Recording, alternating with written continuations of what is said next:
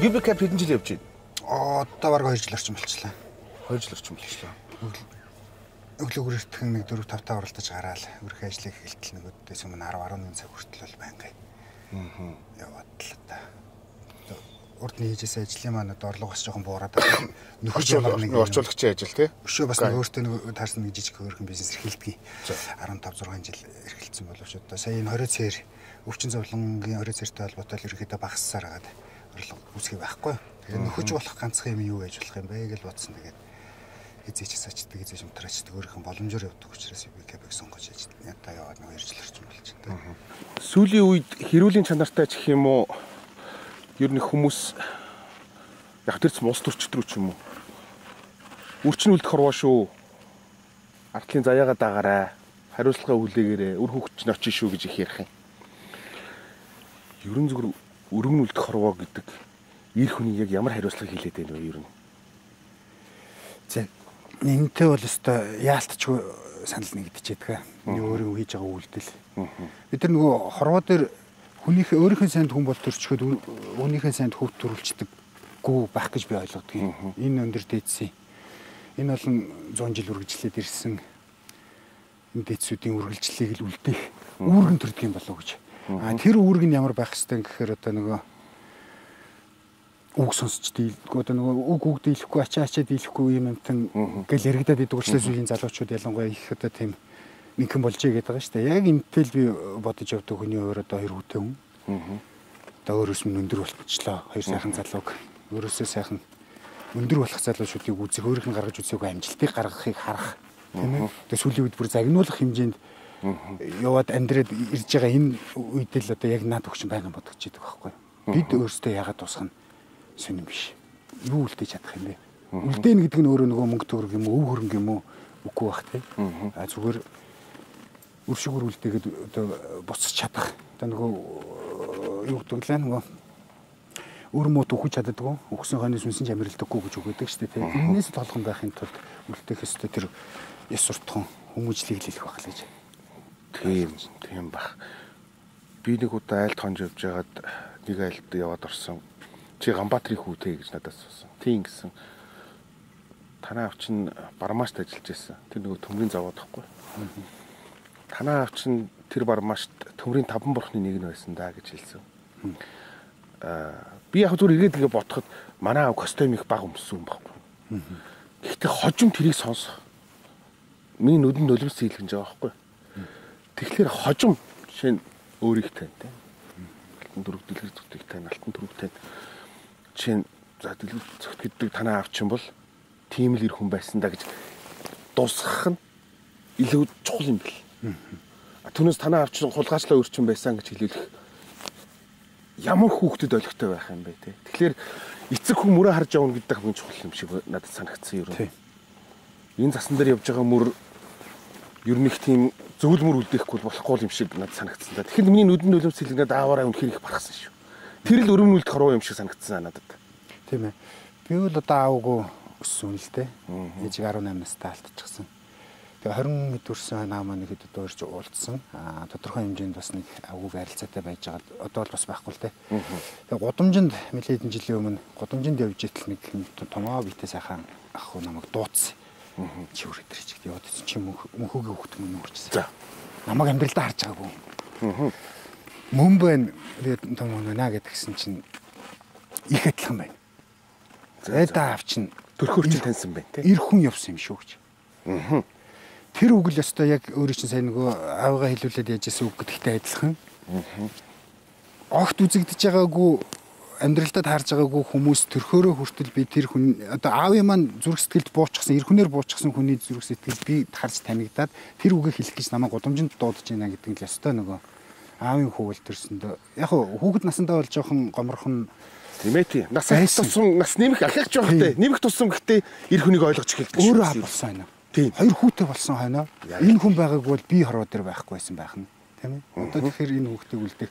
Одоо миний хоёр хүүч гэсэн надад их адилхан л та. Замар сандо манай хадмууд бол том жижиг гурван хэрэг гэдэг нь шүү дээ. Тэгэхээр энэ арилж болохгүй нэг төрх байгаад байгаагийн шалтгааныг л үлдээсэн шиг үлдээх ёстой байна гэдэг бодол ингээл нөгөө чиний хэлдгээр нас явах тусам нэгдээд байна гэдэг шиг. Одоо энэ их олон ажлыг яаж амжуулдаг? За тэгээд одоо энэ олол ажлуудыг хэмжүүлэх. Одоо урдны цогоо байсан бол гэдэг юм уу дэлгэрсэхтэй байсан бол аргуул хэмжээний юмыг бол өөр хэмжүүлэл явж ийн л гэж боддог л доо. А яг тэгж хэлж байгаа юм гэхээр одоо 40 хүртлээ бол одоо өстө хинэрч хэрүүлээгүй. Аа дураараа жаргаж хүртэж явсан цаг үед их би хүртэж хүртэж явсан тийм. Тэгэл ер нь 40 хүрсэн тэнэг ухаан суугаагүй бол тэр чигтээ тэнэгтээ явцдгийг нэлээ гэж нэг Монгол сайхан үг гэдэг шүү дээ. Ч бодсон. Тэгэл ер нь болоо доо. Одоо зөндөө жаргаж хүртлээ те гэдэг өөрийнхөө эрхэм тойронд байдаг нэг зөөхөн ах トゥ амт нутта ам өгөөд ахиж би ам өрөхгүй гэж ам өгөөд л хүртээгүү те одоо 5 6 дахь жилдээ ороо явж байна. Энэ маань өөрөө нөгөө өөрөө ч асуусан асуултын тэр нэг өрөвдөлтэйгээр өдөр тутмыг алдахгүйгээр юм болгоныг хэмжүүлэх үндэслэл болж байгаа гэж бодож байгаа даа.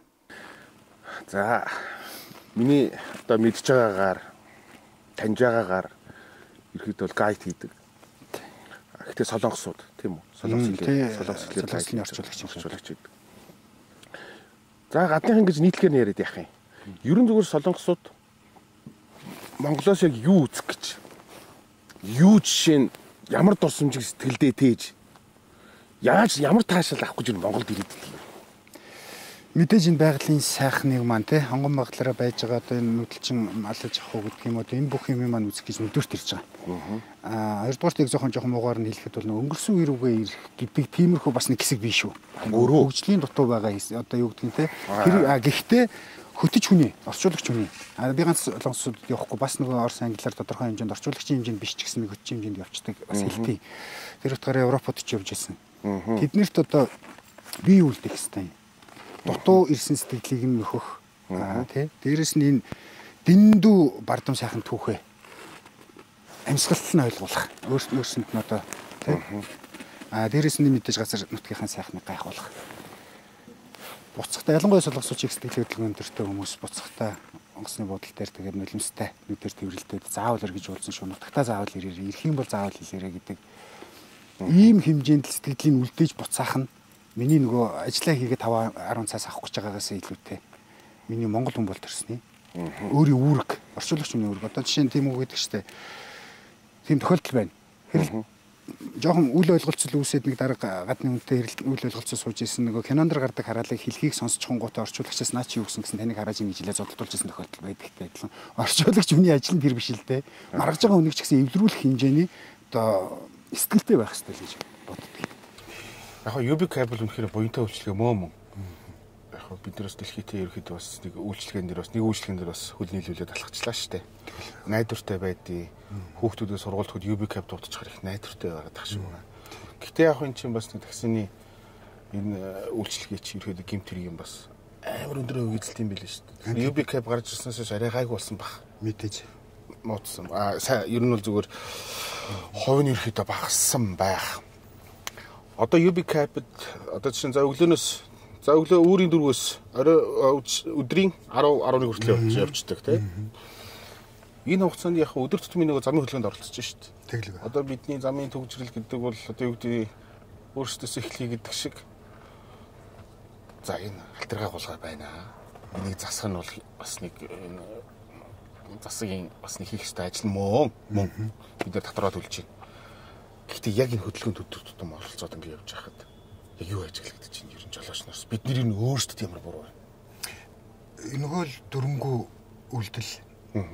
Өөрийгөө бодсон, уваа хичээсэн одоо нэг ганцхан секунд хүлээгээд өнгөрөөч хуулцур дээр яг тулд урдаас нь тулж очиод тэсгэнлэн тавьчихдаг. Тэгээ хэрэлддэг тэрнээсээ болж маргалддаг, зодтолддог байдаг ч юм уу ингээл бүр улам л хөндрүүлээд нь штэ.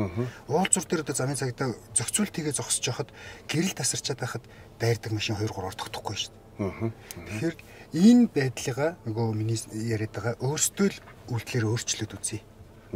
Төрөөс хийх ёстой юм хийх байх, тавих ёстой зам аргууга тавих байх, метро нөө автобус нөө нэмэгдүүлэх ёстой юм бол хийх байх. А гэтэл өөрсдөөсөө шалтгаалж болох. Өөрсдийнх нь төлөө тийм ээ өөрсдөө өөрчлөе гэдэг тэр санаа маань тэр л дээ. Одоо энэ өдөр тутамд хөдөлгөөнд ингээ оролцоод яваад ахаар хилчмээр санагдавч хиллээ гэд одоо манайхан ч одоо явдаг лээ тийм ээ. Ямар мат юм бэл гэсэн чамд ямар мат юм бэл гэсэн байдал гаргадаг юмыг хяналтын зөв системтэй болоо. Тэр нь өөрөө хамгийн энгийнээр иргэн та би таныг та намайг. Аа. Үйлдэлд зүв байхын тулд энэ нэг зүв арга юм байна л гэсэн л харагдаж байгаа байхгүй. Тэгэхээр өөрөө чинь санаагаар зүгээр бид нар хамгийн түрүүнд жолооны хүрдний ард сууж байгаа жолооч нар тэнд гэр бүлч явж гин, зорчигч явж гин. Ерөөсөл хүн явж гин штэ. Хүний амнаас явж гин, хүний эд хөрөнгө явж гин. Тэгэхээр хамгийн түрүүнд бидэнд хийх алхам яг юу вэ? Зүгээр энгийн алхмыг зүгээр хэлээч. За өөртөөс эхлэе. Өөртөөс эхэлж өөрчлөе. Үйлдэлээрээ өөрчлөе. За хамгийн ихний алхам юу вэ гэвэл? Одоо ажигласнаар өдөр тутам хөдөлгөөнд оролцож байгаа үйлчлэгэнд явж байгаа хүний хувьд хяналт надаас хамааралтай хяналт. А тэр хяналт нь юу юм гэхээр хар хайрцаг. Хар хайрцагийг хэрэглээд хөвшчий. Хөвсөн хар хайрцагийн одоо бичлэгийн дунд илэрсэн зөрчлийг мэдээлэл сурч. Мэдээлснийхэн дагуу тэр нь замын цэгдэгийн зүгээс хариуцлагад оцдог болчих. А тэрнийгээ хөшөө боловсронгуй болгох одоо юу гэдгийг арга нэг юм бол иргэнээс ирсэн мэдээллийг замын цагдаа нь хүлээж аваад авсан мэдээллээ хүлээж авч байгаагаа мэдэгдээд а дээрэс нь одоо үсэх юм нь хүн болгонд байгаа нөөтийн э, системээр дамжуулаад одоо иргэнээс ирсэн мэдээллийн зөрчлийн урамшуулал уул зүйн сайдын батлаад өгсөн одоо юу байж байгаа шүү дээ 20% нь урамшуулаа гэдэг. Энийг л холбоод өгчих юм үйлдэлийг хийгээд өгчих юм бол хүний муу үзэж байгаа биш ээ. Өөрөөр чинь түрүүний хэлдгээр хүний бөгөөд өөрийн миний үрсийн аюулгүй байдал бүх зүйл тэр эргэн үрийн хяналтанд орчиж байгаа. Замын цагтын газрын даргын нэг ярилцлагыг би уншиж сонсч ирсэн л та. 400 гаруй цагдаагаар энэ олон машиныг яагаад ч хянж чадахгүй байна. Тийм харах байхгүй. Аа тэгвэл хотын хөдөлгөөнд оролцож байгаа. За хотоо болио бол Монгол улсын хэмжээнд сая гаруй машин байна гэдэг ба шүү дээ. Сая гаруй машин маань өөрсдөө бүгдээрээ хяналтын камераа хэрэгжилж сураад тэрнийхээ зөрчлийн мэдээлэл мэдээлэл сурцсан байхад сая гаруй хамгаалтын хяналтын камертай болчихж байна л гэсэн үг байхгүй юу? Хүн одоо болгоны оролцоотойгоор. Одоо энийг хэлээд байна тийм үү? Одоо энэ хараа хэлцэл хэлээд. Хараа хэлцэл хэрэгтэй шаардлагатай үед нь гарсан. Одоо чинь орон нутгийн зам дээр жилд 500 гаруй хүний амир сэтдэг гэдэг. Орон нутгад бид нар зөндөөл явж идэг. Урсгал сөрөөл ороод ирдэг. 150 60 км цагийн урттай урсгал сөрж орж ирээд. Тэрнээс чинь бол нэг хүний яарч гаргасан үйлдэл эсвэл одоо дэндүү одоо ухамсаргуу хийсэн үйлдэл нь эсрэг ирж байгаа миний таны бидний хайртай хүмүүсийн амнаас эрсдэлд орчиж байгаа. Энийг зогсоох ганцхан арга нь мэдээж тэр Монгол улсын өргөн удам газар нутаг дээр тэр болгон дээр камер байх боломж байхгүй тэр болгон дээр цагдаа байх боломж байхгүй. Харин удаас нь ирж байгаа машин бичиж явах вэ гэдгээс болгоомжлоод ч болтугай. Тэр хүн хурдаас ахаас дөрвөндөө явахаас өөр аргагүй болох. Ийм л арга юм аа л гэж бодоод хараад ахгүй юу. За хоёр хүү 13-т 15 таа гэсэн тийм хоёр хүүтэй. 13-т 15 таа гэхэлэр одоо шилжилтийн насны хүүгүүд байна. Тэгээд түүнийг дагаад бас жоохон хэрэгцээнд өсөж байгаа байх. За тэгээд юу нөө А байна тий. Одоо энд 3 3 ир байгаад шүү дээ. Одоо миний ойлгож байгаагаар. Тэгэхээр 3 ир нэг нэгэ халамжилж явахгүй бол өөрхийн халамжлах уу? Тэгэл. Тэгэхээр хүүд ирэхэд яг юу дээ нэг А хүний ч гэдэм үү бодож явдаг. бид хоёр үгийг тийм болгочих юмсан гээд нэг барьж явдаг хүмүүжлэн одоо жишээ нь юу байдгийг одоо юу гэдэг стол хийж оронд ээж л болж явж штэ. Тэгэхээр аав хүний хувьд одоо яг юу ямар хүмүүжил хоёр үгээ би нэг тэгжил хүмүүжүүлээд нэг 90 цент хүрч хийсэн да гэж бодох юм ер нь. Ээж маань биш авах өссөн. Ээжийг 18 та алдсан. Ээж маань би жоохон сахлахгүй хөхтэйсэн л та. Ээж маань надаас ганцхан юм өсдөг байсан. Хитрхи хэрэглүүлсэн болохоор би жоохон сахлахгүй болсон. Хүн л байгаараа миний өргөж байдаг байсан. Сахлахгүй толгонд минь өршөөгөөд уучлаад ганцхан хүн л байж үзээрэй миний хүлээж годог байсан. Хүн байхын ухааныг л одоо энэ 40 хэдэн жил хайгаал явж байна л гэсэн үг шүү дээ. Хоёр дахь юм бол би өөрөө аав өссөн, ааваа гэж амьдралдаа дуудаж үзээг учраас хоёрын хоёр хүүгээ аав болоод явах бол надад тийм бас тийм амархан байгаагүй шүү дээ. Ядаж би аавдаа загнуулж үзээгүй, зодуулж үзээгүй, эрхэлж үзээгүй тийм. Хоёр хүүхдээ ч би хэлдэг. Аав нүрэ аавын хоёр үзээгүй ч гэсэн аавын хайр гэж юм байдаг баха гэж харилдаг шүү бид хоёроо гэхэд мэдж байгаа мэддгээ аваа гэдэг. Аа нөгөө талаас өөрийнхөө одоо нөгөө ийм байх хэрэгтэй болов уу гэж бодож явдаг хүмүүжлэх юм уу? Жохон хатуу талтай байсан баг. Ээж нь гойдог байсан. Миний хоёр хүүхдийг шатар даам тоглосон ч гэл ойлулжил байдаг. Барилдажсэн ч гэл авч идчихл байдаг. Ээж нь хин тэрээр авч идээд байгаа. Би би би. Аа за за. Би одоо сургуулийн хүүхэд нь авч идэл дандаа л тэр хоёр хүүхэд сургууль дээр л хажигдаа шидүүлээд ирэж ойлгохгүй. Тэгсэн ганцудаа ч гэсэн ялагдаад өгч л доо миний хүүхдүүдэд гэж гуйдаг байсан. Тэгэнгүү дээ. Энэ ороо дээр хоромч юм гэж байхгүй. аавынх нь ард бүхэл бүтэн ертөнц хүлээж байгаа.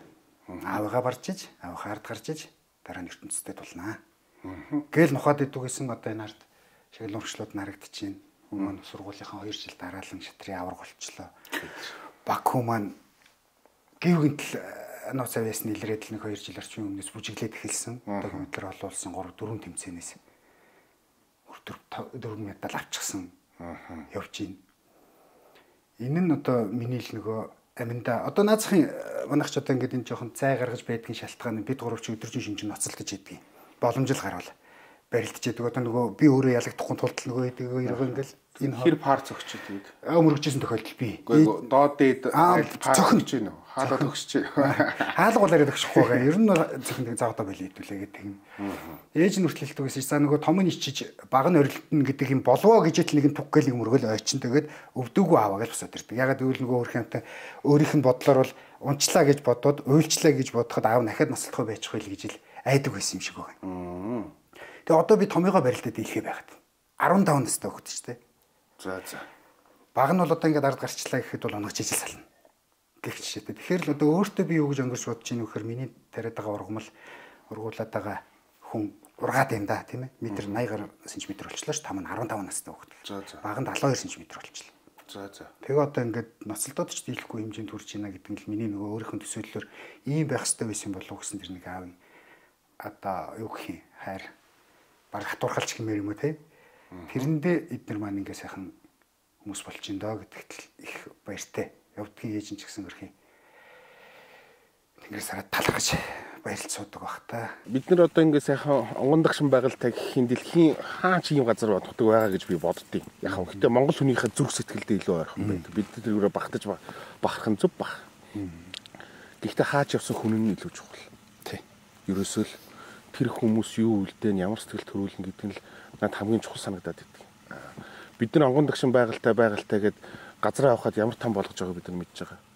А гэхдээ нэг ёс зүйтэй хуулийн дагуу дахин одоо юу гэдэг нөгөө байгалаа нөхөн сэргээх үйл ажиллагаагаар хийхгүй хитрхи сүтгэж байгаа учраас онгон дагшин байгальтай гэж хэлэх зөв ч юм уу буруу ч юм уу яг энэ юм толгодыг давхад онгон дагшин байгаль чинь байхгүй зүгээр шаравстаар утгаад хайцсан газар ч бий. Тэгэхээр бид нар нөгөө хүн гэдэг нь илүү чухал учраас гадныхан тэр сэтгэлийг төрүүлэх нь илүү чухал. Монгол хүн гэж. Тийм. Тэрнийг илэрхийлэх нь чухал. Энэ байгалаа илэрхийлж явах нь. Хүнээрээ дамжигдаж байгаа шүү дээ тэр бас. Би бол тэгж ойлгоод идэв.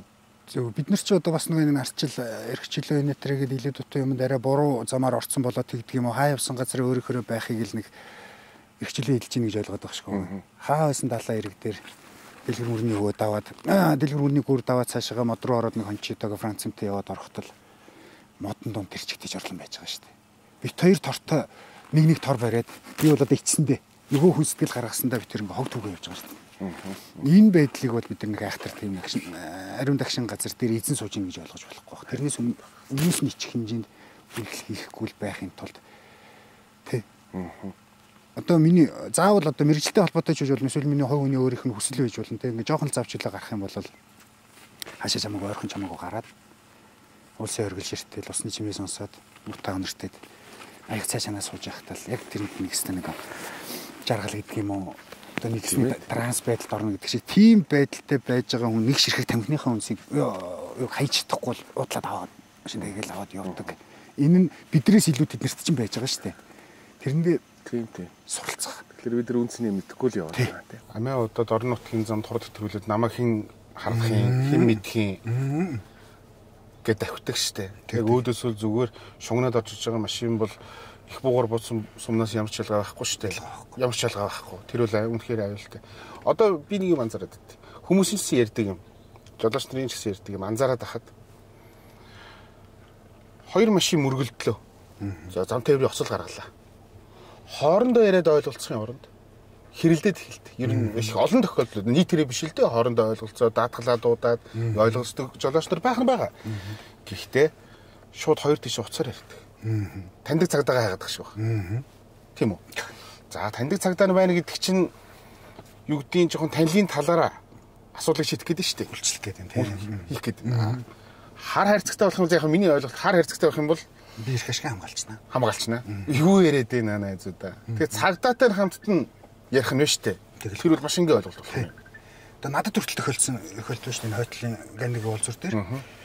Зам дээр бүтэн иргэсэн бүсгүйгээс би зүхтаж гараад одоо хүн хүн л болсон нөгөө рефлексээр хүүхдээ авч явж байсан учраас гараад торомжлол зогсоход урж ирээд мөрөгцсөн чинь тухайн үедээ ирсэн цагдаа бол ихч минь яаж л яваад энэ да гэд хэлжсэн Сүхбаатар дүүргийн цагдаа гэлц дээр очисон чинь би үргэлжлэн шугам дав зогссон болоо 100 мянгаар тургуулаад 5 хоногс болсон. Аа. Бодтоо. Аа. Тэр үед нөгөө камераман ажиллаж байсан бол намайг тэнд очиод аюулгүй зогсолт хийсний дараа ирээд мөрөгснийг бичсэн байсан бол тэр цагдаа намайг тэгж буруудах байсан үгүй юу гэдэг чинь нөгөө их ашиг хамгаалагдах юм. Тэгэхэд хар харьцаа тавиг байсан юм те. Баг тавиг байсан үе. Аа. Тэгэхээр хүн ингээ заавал ингэж алдчихээж мэдэрч ойлгод юм байна шүү дээ. Энэ ойлгодог гэдэг ер нь бол зүгээр яг энэ нөгөө хүний арын шин юм шиг байлээ л дээ. Ер нь угаасаа ийм төрөлхийн нэг байдаг арын шин юм шиг байлээ. Наад одоо ганцхан замын хөдөлгөөнтэй яасан асуудал бас биш болчиход байгаа шүү дээ. Энд ингээд том утгаар нь харах юм бол гудамжны боломж хэгийг зогсож идэх хүн болчихно. Орон байрны хулгай багасчихна. Бидний хамгийн хэмзгэлж яаж идэг хүүхдийн хулгай, хүүхд алга болчлоо, хүүхд таймаар нь олмоор байна гэд бид аав ээж болгоныг хэмзэглүүлж идэг юм. Жишээ нь муугар одоо жишээ татъя л да 10 цаг 15 минутын үед сургуулийн үдээр гарч явсан камерын бичлэгэнд ороод тэрнээс хойш сургаггүй боллоо. Тухайн цаг хугацаанд явж исэн аав ээжүүд минь. Камераа шалгаад өгөөч. Тэгэхэд хэрвээ хулгайлсан бол ямар нэгэн машин суулгаад аваа явна. Тижигнүүлэл тэрээд явахгүй л ав. Хуурж байгаа бол ямар нэгэн хүч хэрглэж байгаа бол гэтэл тэр машины нөгөө суулгаж байгаа хүн улсын дугаар бүх юм цаг хугацаатайгаар бичигдэх нь. Тэгэхээр бүх төрлийн гэмт хэрэгэнд шууд нөлөө үзүүлнэ. Одоо өөрөө бол өөрийн дөрвөөс өдрийн 10 цаг хүртэл энэ хот энэ хотын гудамжуудаар ерөөхдөө бол байнгын тавьж штт тэгж байгаа. Тэгэхээр энэ камер энэ хяналтын юу гэдэг энэ хар хайрцаг камер бичээстэй байхад яг явж исэн бас замаа харах юм бол олох боломж өндөр л тийм чинь алга болсон хүүхэд гэвэл ямар ч тохиолдолд тийм чинь өөр автоматар бичээд тодорхой цаг хугацаа өнгөрсөний дараа автоматар арчаад үргэлжлээ яваад байдаг юм тэнд дэвшлэлт хэлэг болсон шүү дээ. Тэгээд тухайн цаг хугацаа хайхад л гараад ирнэ. Тэр цаг тэдэн минут нь тэрүүгээр явж өнгөрч явах тийм юм болсон байна. Энэ ямар үнэтэй гэдгийг Миний 3 4 жилийн өмнөөс би энэ чинь ажил болгочихсан надад бас нэг зах зээлийн судалгаа шиг юм хийж үзчихсэн. Тэгэхэд нэг 60 мянгаас 230 мянган төгрөгийн хооронд байсан. Миний зөв судалж чанар манараасаа юу чанараасаа брэндээсээ хамаарат багтаамжаас хамаарат одоо тэгээд юмны нэмэгдлээ нэмэгдлэхэд 300 мянган төгрөг болсон байгаа болоо тий. А тэгээ энэ чинь засгаас гуйх гээд байгаа юм нь бол IT-ийн чиглэлийн мэрэгчлэнүүдээс би асуусан л да. Миний хүсэж байгаагаар иргэнээс ирсэн мэдээллийг баталгаажуулдаг мессеж нь очдог. Ирсний дагуу ирсэн мэдээллийн дагуу одоо нэг төрлийн урамшууллыг олгочдаг ийм системийг үйлдвэр хийж болох уу гэхэд маш амархан. Ийм Монголын хийсэн залуучууд хийж чадна гэж байгаа. Нэгдүгээрт хоёрдугаарт нөгөөх нь засгаас гуйх гэж байгаа юм нь бол энэ холболтыг л хийгээд өгчхөө. Энэ холболтыг хийгээд өгсөн байхад иргэдийн оролцоотой бид нэр өөрсдөө хяналтаа одоо нийгмийг одоо сайхан болгох аюулгүй өөрсдөө хэрэгтэй эрүүл аюулгүй сайхан одоо орчин авчрах үйлдэл нь бидний хийн болно. А хоёрдугаарт электрон бараа бүтээгдэхүүн борлуулдаг компаниудаа бас хамтраач гэж байгаа байхгүй. Энэ хараа хайрцагнуудаа оруулаад ирээч. Бид нар бүх юмыг одоо нэг урьдчилаад төлбөр төлөхгүйгээр шууд худалдаад авчдаг нөхцөл бүрдчихэд нь шүү дээ тий. Тэгэхээр одоо холбоод өгөх юм бол энэ ерөөсөө яг нь засаг иргэн одоо аж ахуйн нэгж гурвын хамтарсан байдлаар шууд айлгүй байдлыг хангах хойш хойштой ингээд тайван сайхан гэрэлтэй ирээдүг авчирхад бидний оролцол болох юм байна гэд өөрсдөө өөрчлөе гэж яриад байгаа сайн.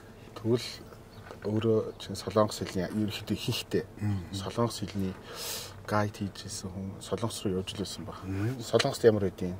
Энэ бол одоо бүр төгсөрсөн шүү дээ солонгостой бол одоо ямар нэгэн аваар осол гарсан яаж зохион байгуулсан. Яг хөө мэдээж энэ бол мэдээж ямар ч аваар ослыг бол бичих юм байна. Энийг Жишээ нь хувийн хөвшил иргэн юу гэдгийг засах юм уу те? Яаж ингэж хамтарч хийсэн бэ? Энийг үл хийгээг байгаа.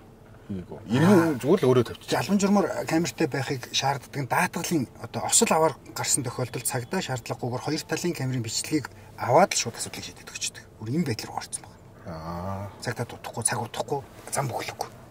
Энд осол гарлаа гингүүт мэдээлэл өглөө цаашгаа яваад. Тэгээд ер нь гадагшаа дутагшаа одоо ингээ яваад шалгараад энэ тэмцээн уралдаанд явхаар гурлаа төлцөд хөтөлцөд явах юм уу? Хааж явсан тэгэл хэлхэлтэй л яваад. Аа. Мундаг байна мундаг байна. Яг хөтэ тэгээ томын үлдээгээд багыгаа хөтлөөд явах нь яг зардалч гэж бодох. Тэр чинь яг та нар гэр бүлийн санхүүгийн асуудал надад ямар хамаах вэ?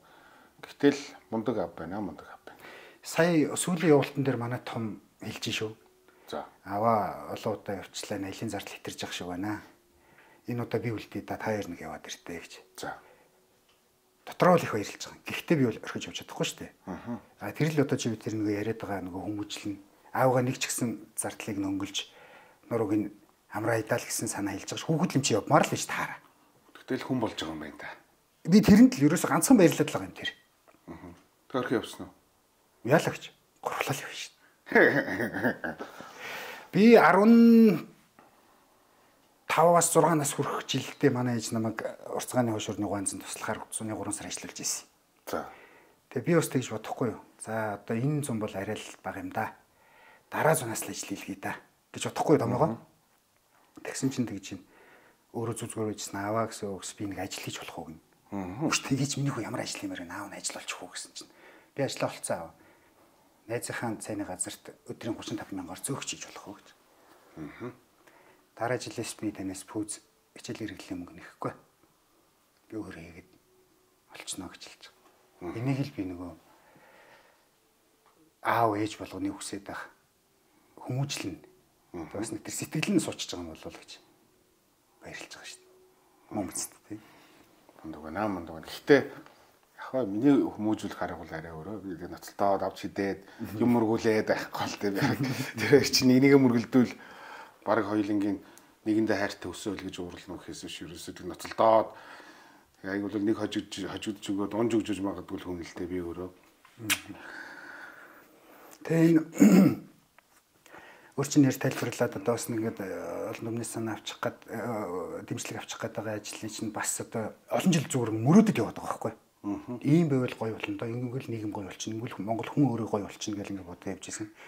Яг жил гарангийн өмнө би нэг дэндүү өөрийнхөө хоригоос болж хамаагүй өвчтэй байж хамаагүй ажиллаа үргэлжлүүлж явж байж унс очсон одоо их модохгүй юу. Тэгээд ач дэмчнэрийн гар дээр схем амьдралах тасах нэг 5 хоног байж аж босч ирж ингээд тасгар шилжсэн л дээ. Яг тэр амьсгалын аппаратанд орчхоод эмч сүлгч нарын гарт орчоод байж байхдаа л ерөөсөө ижиг алдсан энэ хоёр чинь. Би байхгүй болчих юм бол яах юм болж байна л гэж бодогдохоор л нүднээс нүлмс гойчгоос өөр бол юм хийж чаддгүй юм байл л те. Тэгээ бас нэг давхрын бодогдсон юм юу гэхээр дэмий мөрөөдөж явсаар хагаад дуусах юм бол хамтдаа л мөрөөдөлтөд дуусчих юм байна. Ядаж одоо бас нэг бод сэтгэж байгаа юм а хүнд хүрэх хүнтэй уулзтай хэрэгтэй юмыг бол дэмий бодоод байх хүмүүс хийж хэрэгжүүлэх хэрэгтэй байна гэл амар зөргөлчл босч ирж байгаа босныхоо хэмжээнд л одоо эхлүүлэх гэл хичээж байгаа л үйлдэл манлын ихтэй. Тэгэхээр бид нар нөгөө өөрсдөөсөө үлгэрлээ өөрсдөөсөө эхлэе гэдэг чинь тэр байгаад байна тий. Тэгэхгүй тэгэл бусдад нэг гадны жуулчдыг авмаар байна. Тэр бом доллар л өгсөн байна л да түрүү жил. Ихдээ байгаа ер нь урд урдын жилүүдээс онцгой тохиолдол тэр бом доллар. Гэхдээ бид нэр өөрсдөө бэлэн байх хэрэгтэй, өөрсдөөсөө эхлэх хэрэгтэй, өөрсдөөсөө үлгэрлэх хэрэгтэй байгаа тийм. Гадныхан тэгэхээр бид нар ер нь зур хятад тэгэхээр үзэн яддаг. За монголчууд тэгэхээр нэг бардам сайхан нэг тийм хямрлаг ирчүүд гэдэг хүмүүс гэдэг. Монголчууд дотор мууч бий сайн ч саарн ч бид нар тэднээс ялгаж салгаад харж хятад дотор солонгосууд доторч сайн ч юм уу ч. Тэг гадныхныг харахаар юу гэдэг нэг Европ ч юм уу нэг Итали мөртөл шар толгойтой нөхөр харахаараа мундаг баян ч юм уу гэж хараад идэг. Тэг Аз нөхрийг харахаар үзэн ядаад идэг. Бидний хандлага яаж өөрчлөх вэ? Яагаад бид нар тэр хүмүүстэй зүгээр хамтраа бизнес хийж болохгүй юм те? Манай Монголд хөрөнгө оруулалт хий, хамтраад хий. Гэхдээ яагаад бид нар чинь хятадтай ч юм уу, солонгосуудтай ч юм уу яагаад ойлголцохгүй байна? Бидний яагаад хандлага гэж өөрчлөгдөхгүй вэ? Бид нар өөрсдөө өөрчлөгдөхгүй аа нийгэм нь өөрчлөгдсөн. Хүсвэл бидэрт бүх юм байж байна. Одоо нөгөө дэлхийнхээ хөгжлийг дагсан утас одоо машин тэрэг одоо бүх юм байж байна. А гэхдээ тэрнийг дагаж зүгээр яг хүсээд байгаа эрхчлөөнийхөө тухай ярьж байгаа болохоос биш үүрэг хариуцлага өдрийг багтагддаг байсан шүү дээ. Үүрэг хариуцлага биелүүлсэн үнд эрхэтлэх эрх нь үүснэ гэж шууд идлээд явна гэсэн үг биш. Тэрнтэй адилхан гадны хүнийг харахлаараа мөнгө болгож харддаг юм уу? Эсвэл нөгөө өөрөө чинь саяны хэлдгээр одоо бас нэг үндэстэй ястны ч байдаг юм уу? Юм ялгаа гаргадаг харьцаанаасаа биш. Тэр хүнээс одоо давдггүй махад дутхгүй байх соёлтой харилцаа, итгэл байх чадвар. Одоо манай нэг өрөнгө оруулагч хэлжсэн айгуу гоё үг гэдэг шүү дээ. Чиний шүтээд идэг барууныхан Япон солонгосоо танараас илүү төрцөндөө ийм байдаг гэж бодож байна. Үгүй. Хариуцлагын тогтолцоо өндөр байдаг учраас бид дагахаас өөр арга байдгүй маа гэж. Хаач газрын хүн адилхан л гэж байгаа байхгүй. Ганцхан хариуцлагыг нь өндөр тавьж өгсөн учраас л бид нар дагаж мөрдөхөөс өөр аргагүй байд нэгэнд амьдрдаг юм а гэж. Яг тэр лүгэл орох хэрэгтэй бид нар. Утаа гарлаа төрийн буруу. төгжрөл үүслээ төрийн буруу. Үгүй шүү дээ. Бид нар өөрсдөө юу хийж байгаа юм? Миний нөгөө нэг санаа хүсэж байгаа юм бол өөрсдөө монголчууд маань яаж өөрчлөгдөж болох юм? Бид нар чинь бүхэл бүтэн дэлхийн ертөнцийг эзэгж явсан үндэстэн шүү дээ. Эвтэй байхтаа хүчтэй байхтаа нэгдэж байж байхтаа. Солонгосууд ялангуяа надад асуудаг. Энэ том газар нутгийг яаж авч үлдээв? Тийм том түүхийг яаж бүтээв? Одоо байж байгаа байдлаар чи харахад бол гээд нөгөө хотод байж байгаа өсөл байдлыг маань харчаад асуудаг байхгүй юу?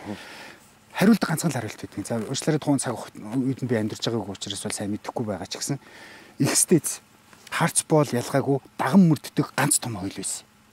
Их засаг гэж хууль байсан. Тэр хуулийн ганцхан залтыг биелж өгье. Булаг шантны ихийг бохирдуулсан этгээдийг цавчиж алгаддаг байсан. Тэгж байгальтаа сүгддэг. Ганцхан хүний эзэмшил юм биш биш юм шүү гэдгийг ан амтан ургамал одоо юм бүхний эзэмшил юм шүү гэдгийг л мэдэж хайрладаг байсан учраас тэр том хуулинд л захирагдаж амьдэрдэг байсан учраас монголчууд хүчтэй байсан бахаа л гэж би хэлдэг өөр надад тайлбар одоо яг үнэн бодитоор хотын аялалд явж явах үед те халаасны уулгачаас авах аж ахуйс мөшгөлөд авч байсан хүн байдаг шүү дээ. Хятадд ч Лондонгийн төвд ч Ливерпулд ч Лос Анжелест ч халаасны хулгайч байгаа. Хаач байгаа. Тэгэхээр энэ дэлхий дээр бас нэг адаг алдсан, яадаг алдсан төмөө олон бас бид нар биш шүү дээ. Хаач байдаг. Төгжрөл тэр Сан Франциско чинь дуусч байгаа. Трафик нь бол аимшигтай. Гэхдээ энэ дэлхий дээр бас адгаалтсан хүмүүс гэж бас өөрсдөө бас зүхмээргүй байна. А тэгээд зүхлээгээд юм болгоныг хоёр хөрчтэй ч юм уу эсвэл нэг төрийн нэг хэдийн нэг мангарын хүмүүс тохоод ямааргүй байхгүй. Хинт буруудах нь түүнд их мэдлээ алдна. Тэгэхээр өөртөөсөө эхлэх нь хамгийн чухал гэж би бодоод идэв юм. Яг өөрийн чинь яг ингээ урайлаад байгаа яг энэ уурын дээр бол би 100% санал нэгддэг. Бид нар өөртөөсөө эхлэмээр.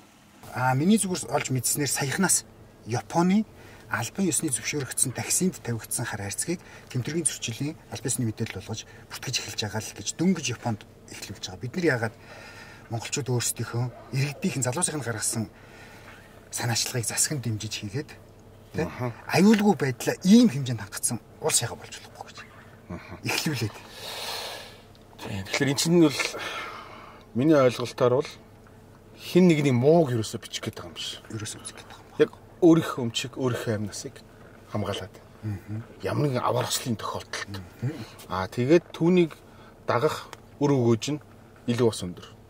Тийм ээ тийм. Бид нар яг нөгөө Монгол хүн амны эвлэг саштын бэлэн ямар муу юм ирдэг ингэж хүүхдүүд алга болж байгаа тохиолдол олон байна. Зам дээр юу гэдэг хүндээ харагдаад эзэн олдохгүй байх тохиол байна. Байна шүү дээ. Тэр харах гудамжинд хүртэл байна. Тэгэхээр хажуугаар нь зурж явсан хүн түүний гэрч нь болох нь шүү дээ. Тэгэл камертагаал давхиж явахд хар хайстагаал давхиж явахд. Гэтэ уг нь тэгээд энийг юм сайхан дэмжээл хийцдэг бол тий. Одоо энийг за за 300 мянга за 200 150-аас 200 мянга гэж бодъё 300 мянга төгрөг үнний хааш нэмэгдсэн гэд бодвол юу гэдэг авлаа гэхэд электрон бараа ч юм уу ийм суйрлуулдаг нөхдүүд санал болох нь шүү дээ. Та өршлөхаагүй аваарай. Тэдөө үе хөнгөлт тий гэх юм байна те. Тэгээд үргээ. Иргэний үргээ хажуугаар нь бас өөрсдөөс өөрсдийнхөө үйлдэлээр тэрэн бүл өөрчлөлт нөгөө өөрсдөө үлдэх нийгмийг өөрсдөө оролцоотойгоор л гоё болох ялгаагүй. Тэ. Аа. Баян хүргэлжлээ шүү дээ. Тэртээ дөрвөө ингээ байнгын зөрчил гараад ийн гэсэн үг биш. Хоосон буунаас 20 хүн гэдэг шиг тодорхой хугацаанд өнгөрсний дараа болий нэг нь бичиж байгаа. Болий нэг нь мэдээлчин. Тэр чинь хүнд өөрт нь одоо шууд хазаар нухлах гэх юм уу те. Зөв зуршил нь болоод ингээл зам аргуу маань аюулгүй болчихно л гэсэн үг байхгүй да. А яг эсэргүүцэх нэг нь дураар дахих дурт одоо чинь гэрэл шилжүүлэх гэдэг нь хамгийн хүнд асуудал байдаг шүү дээ. Орон нутгийн зам дээр ялангуяа нэмэлт гэрэл тавьчаад урдаас гэл алгаж идэг. Одоо өөрөөр гараад явж байхдаа даранхгүй байгаа те. Ер нь за яста 10.3 нь яаж ч гуугаа шилжүүлэхгүй бүр юм хурц гэрэл бүр зориудаар худалдаж авт авчаад уртаас мэлхийхэд авах байдаг. Энэ минь байдлууд чинь бүгд нөгөө баримттай бичигдэж байгаа гэдэг утгаар хариуцлага тооцох нөхцөл нь бүрдэн ямар ч хурдтай зөрж өнгөрч исэн тээврийн хэрэгслийн улсын дугаар их гэрэлд гэлбэхгүйгээр бичигддэг. Харин тийм ээ тий. За яг би зүгээр энэ кабин дотор зүгээр энэс амиа бодцох болио тий. Гэрэл цод хүмүүс ч амиа бодож штэ. Зөвхөн өөрөө л тод харж ивэл болоо гэж. Нөгөө ирж байгаа хүн бол хамаа алах штэ. Тэр хүний гэлбэх мэлбэх замын хажуугаар өнгөрч унах мунах ерөөс байдлын алга. Өөрөө гэл болоолсон гэл өнгөрчихөж байгаа. Гэтэ үнэхээр яг би хараа хэрцэг гэдгийг ойлгож байна. Гэтэ яг бүр ингэж утгаар нь яг ийм юм байх юм байна гэдгийг бол ойлгож байгаагүй юм байна. UB cap зүгээр суудаг юм байна штэ тий. Одоо юм юм гэл амжилж байна да гэдэг шиг. Өдрийн нэг ажлын 8 цаг гэж үзвэл 3 төрлийн ажлыг л амьдраад байна л гэсэн үг шүү дээ. За мундаг юм аа мундаг. Хэд хэдэн зүйлийг би ойлголоо.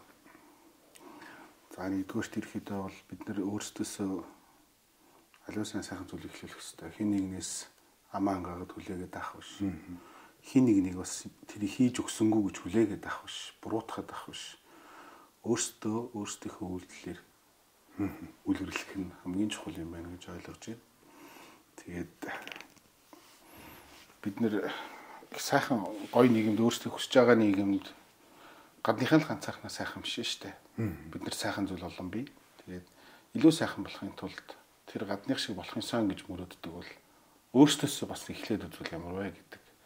Энэ хандлага туйлын таатаа санагдаж байна. Тэгээд яг залуучууд маань ойлгох бах Тэгээ залуучууд уунаас настайч бол да үлгэрлэх бах.